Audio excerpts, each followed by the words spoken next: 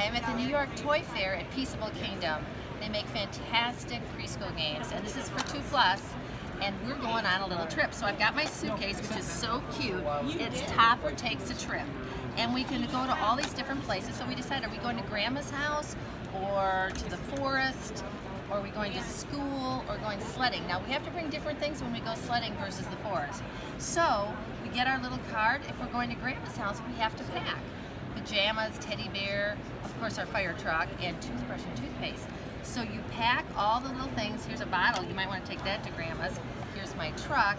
And you close it up and you go to Grandma's house. You put Grandma's card somewhere in the house and that's where you take your trip. And you can always talk about, well, why am I taking my truck? Because I like to play with it. Or why do I need a hat to go sledding? I need to keep my head warm. So wonderful opportunity for language growth here.